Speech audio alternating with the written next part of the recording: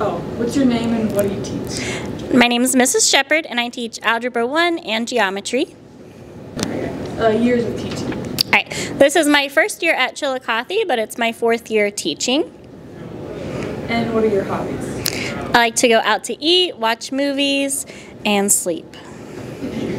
Hometown and what is it famous for?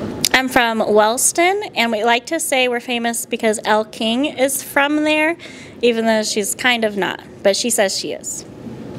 Song you can listen to on repeat. Probably any Disney song.